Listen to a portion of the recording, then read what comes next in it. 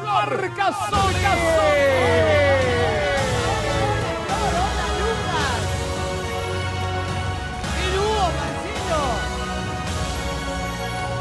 Vamos. Bienvenida, Marcasoli. Tremendo.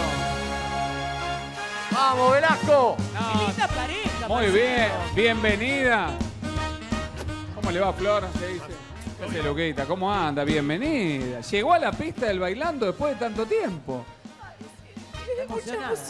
Sí, sabía, sabía, porque había luchado mucho por estar acá, Flor, sí. ¿eh? Sabía. Sí, Gracias, gracias eh, a Chato, a Jome, a vos por la oportunidad, porque para mí es un sueño estar acá. Fueron muchos años de, de- No, sa- sabía, sabía todo lo, todo lo que querías, todo lo que querías estar acá en esta pista. Lo hiciste saber en muchos lados también. Sí, es muy importante para mí. eh, tengo un, un- un equipo hermoso, un sueño hermoso. Así que bueno, vamos a dar todo para, para llegar lo, lo más lejos posible. Me encanta, me encanta. Y vos, Luquita, me encanta. Sos un gran tipo, gran actor. Pensé que te habías ido a vivir a España. Está buenísimo que estés acá en la pista. Es que estaba viviendo en España y me llamaron y dije, bueno, tengo que venir. Así que vine para hacer el bailando y después me voy para allá. Muy enamorado, la he visto ahí. Hoy me ha presentado a su novia. Muy enamorado está allá. La- la- la- lo enamoró una española. Me enamoró una española, la conocí haciendo una serie allá en España.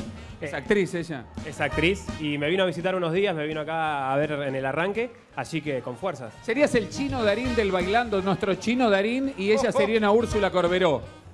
Bueno, no, no, algo así, el chino es el chino. Está bien, pero bueno, qué sé yo, ¿viste? Enganchamos, enganchamos un actor con una chica de España. Igual le mandé un mensaje y le pregunté cómo hacía con el amor a distancia. Yo vengo preguntando, pues es difícil el amor a distancia. Es muy difícil. Yo tenía una novia en Bolívar que tomaba el bondi en No. el año 80. era tremendo. La veía los fines de semana, Alejandra me tomaba, me tomaba de la empresa Liniers. Y en el año 80, tremendo.